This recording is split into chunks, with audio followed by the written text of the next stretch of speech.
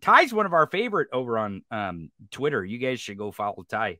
She writes for Occupy Democrats, by the way. So go check out her articles at Occupy Democrat. We've actually featured a couple of her articles here on the Tony Michaels podcast because I think she's wrote about those oath keepers that I keep talking about. I keep talking about the oath keepers. I keep talking about the Proud Boys. I keep talking about Roger Stone. And I keep talking about that goddamn decision made out in California by Car- Judge Carter about John Eastman's emails and how they were not protected by attorney client privilege because John Eastman and Donald Trump committed a conspiracy to obstruct an official proceeding. That is why Judge Carter decided that those are criminal, and that is why they're not protected by attorney client privilege. A federal judge has ruled that Donald Trump and John Eastman committed crimes Conspiracy to obstruct Congress. Official proceeding is the actual charge or the actual crime that he accuses them of in his in his judgment on the fact that these emails that they were they were planning the Cheeto dust kangaroo coup are not protected by attorney client privilege. But that is significant. And the reason why that's significant is again and and when questioning Marjorie Taylor Greene. The petitioner's lawyer even brought up martial law, which I thought, oh man, maybe he's going to come in here with some real evidence. Some real evidence. Because there is actual evidence out in the open, in the public, that we have that shows that the Oath Keepers were waiting. They were waiting on an order from someone to order the QRF, which is the stockpile of weapons across the Potomac in Virginia, to bring them across the river so that way they were armed. That way they could commit uh, uh commit a coup by Donald Trump declaring martial law and deputizing the Oath Keepers. Stewart Rhodes was in charge of that QRF or that stockpile of weapons. He was waiting for the order. And it just so happens that one of his lieutenants, who has pled guilty to conspiracy of sedition, which is important when you talk about the QRF and the stash of weapons, he was protecting Roger Stone. He was standing right next to Roger Stone the entire the entire time the insurrection was happening on January 6th. Now, it's known that Roger Stone has a personal connection with the president and probably has a personal line with the president where he could either call or text him. I don't know. I would imagine that Roger Stone maybe even had burners on him that day. Who knows? I guess maybe we'll find out in a court of law one of these days.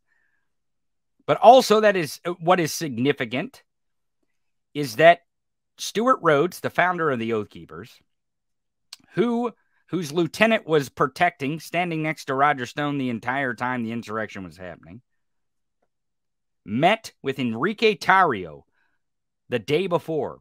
And the context there is that they met in a parking garage in Washington, D.C., where Enrique Tarrio was ordered not to be. It was unlawful for him to be in the city of Washington, D.C. at that moment. And there was a, a, a, protest where he had burned a sign off of a church. They tore a sign down off a church and they'd ordered him out of the city. But he came in anyways to meet with Stewart Rhodes the founder of the Oath Keepers, where his lieutenant would be standing next to Roger Stone, waiting for orders, apparently, from someone to give to Stewart Rhodes that martial law had been that had been declared and that the stack stockpile weapons could be brought across the Potomac to stop those Antifa and Black Lives Matter and even Marjorie Taylor Greene in her testimony here in open court brings up Antifa and Black Lives Matter that racist fuck. Of course, they they they do this shit where they conflate these two issues. And the reason why is because they wanted Black Lives Matter and Antifa there that day. But they weren't. But they wanted them there. They wanted so bad for Antifa and Black Lives Matter to commit violence. So that way it was very easy for the president of the United States at the time, the Cheeto dust mobster, Grandpa Poopy Pants himself, Donald Trump, to declare martial law and to deputize the Oath Keepers so they could arrest members of Congress. And it is very important to know that Stewart Road and Stewart Rhodes and Enrique Tarrio met the night before. And the reason why it's super, super, super duper significant is because the Proud Boys were supposed to be the security force that was going to be next to Roger Stone that day but they switched it for some reason. For some reason, the Proud Boys decided they wouldn't protect Roger Stone, that the Oath Keepers were. I wonder if it's because the Proud Boys didn't have the stockpile of weapons. It was the Oath Keepers who had the possibility of bringing the QRF across the P- Potomac. But the reason why also that the Proud Boys are significant in that they ha- eh, were in cahoots with Roger Stone is one of the people that have charged an indictment with Enrique Tarrio is another lieutenant, but of the Proud Boys.